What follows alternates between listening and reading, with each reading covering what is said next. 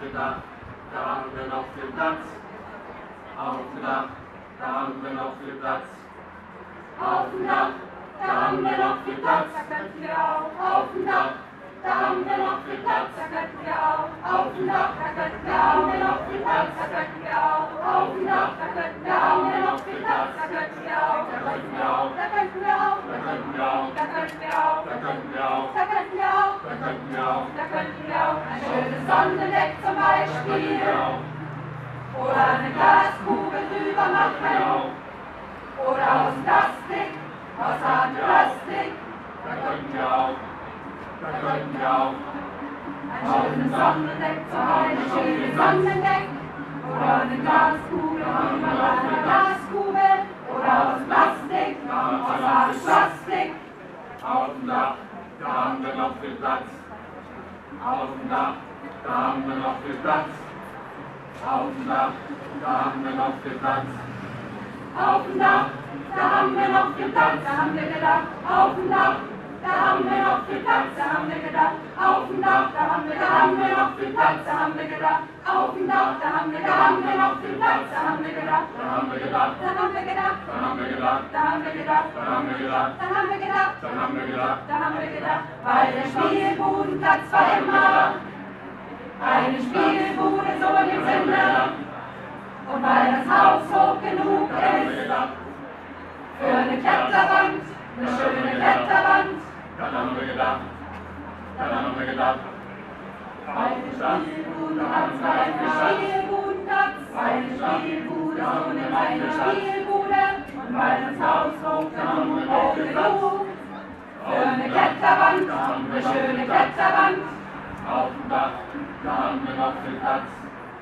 Auf dem Dach, da haben wir noch viel Platz. Auf dem Dach, da haben wir noch viel Platz. Auf dem Dach, da haben wir noch viel Platz. Auf dem Dach, da haben wir noch viel Platz.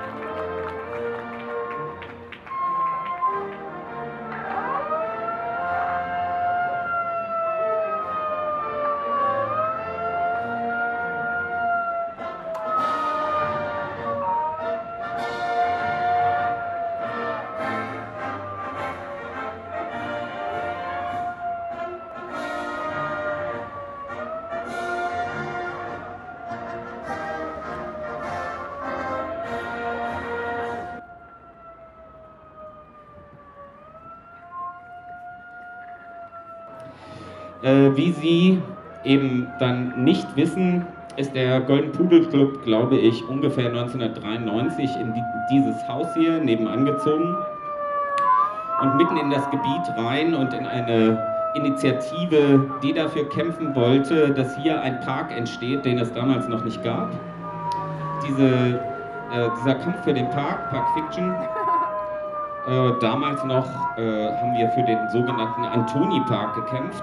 Ähm, die hätte wahrscheinlich keinen Erfolg gehabt, äh, wenn sich nicht die Subkultur in Form des Golden Pudel Clubs äh, dieser Initiative ganz von vornherein angeschlossen hätte. Ähm, Leute wie Schorsch und Rocco, die damals noch irgendwie aktiver gestaltende Mitglieder des Pudels waren, äh, waren halt häufig bei den, der Initiative dabei.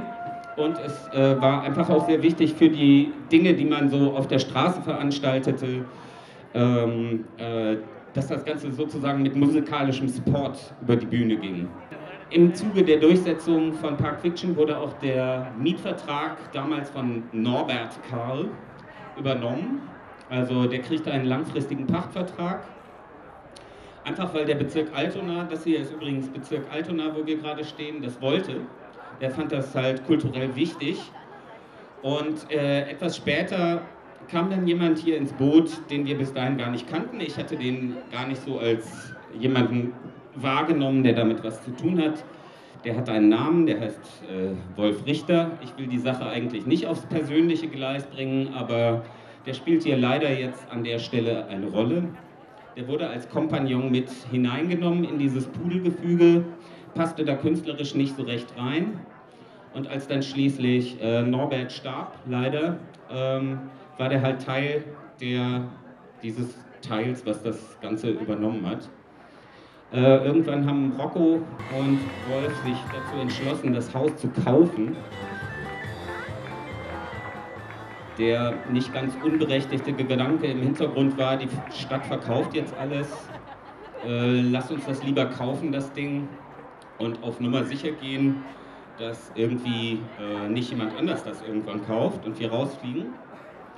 Ähm, das Problem ist nur, dass der Kredit über Rocco läuft und ähm, irgendwie das Ganze am Pudel-Kollektiv nicht so richtig äh, besprochen wurde, beziehungsweise die das nicht kollektiv gekauft haben und die Naivität aus dieser Zeit, sage ich jetzt mal, und das Vertrauen auf Sandkastenfreundschaften sich in diesem Fall leider nicht ausgezahlt hat und die Sache jetzt schon seit mindestens fünf Jahren gegeneinander läuft. Äh, und wir jetzt in dieser traurigen Situation sind, dass da oben, äh, was äh, vom Viertel, äh, dessen Bestand vom Viertel äh, erkämpft wurde, aber dass die obere Etage nicht von dem Pudel betrieben werden kann, der es eigentlich erstens erkämpft hat, miterkämpft hat und äh, zweitens wegen dem es das noch gibt.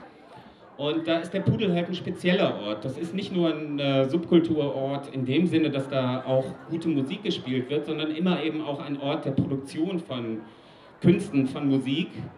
Und ähm, wo bei einem guten Konzert das sehr häufig so ist, dass die Hälfte im Publikum eigentlich selbst Musik macht und man eigentlich in so einer eigenartigen Austauschsituation ist, Dinge da auch das erste Mal ausprobiert werden.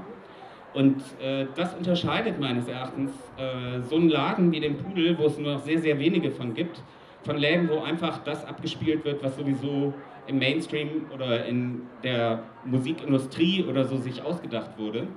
Und davon gibt es nur noch sehr, sehr wenige Orte. Und dieser Ansatz, dass man selbst seine Welt, seine Musik, seine Parks, seine Städte produzieren kann, finde ich extrem wichtig und ich finde es extrem wichtig, dass das sich verknüpft, dass beispielsweise gerade da oben das Fab Lab, St. Pauli im Park Fiction, ähm, da kann man sich sein eigenes Telefon machen, ja, ein Handy kann man sich da bauen, unabhängig von der Großindustrie. Man kann in diesem Laden Musik machen, unabhängig von der Großindustrie. Und man kann sich in diesen Park setzen und sich auch Stadt ausdenken, unabhängig, sagen wir mal, von Großinvestoren. Sowas muss man sich allerdings immer erkämpfen und ich finde es extrem wichtig, sich diese Orte auch in diesem System, wie es gerade so ist, zu erkämpfen und diese Freiräume sich zu erkämpfen. So, das war äh, sozusagen zu summeln, weil ich diesen, diesen, dieser Salonmarxismus mit der da an der Stelle manchmal auf die Nerven geht. Also in der Form. Und bevor jetzt gleich Zucker spielt, spiele ich noch drei Platten, unter anderem eine Platte, die da oben von Momos und Felix Kobin live gespielt worden ist. In diesem tollen Amphitryon, was ähm, aus dem Geld von Pulp Fiction finanziert worden ist und was im Augenblick nicht mehr bespielt werden kann. Hier comes a Garden. I Josh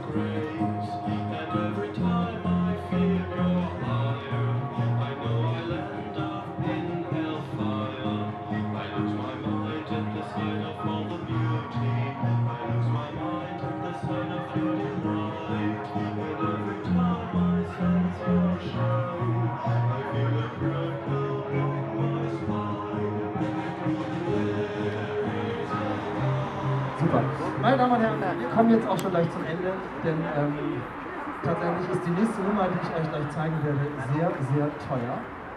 Und apropos, sag mal, hast du eben 50 Euro bekommen? Das gibt's ja nicht.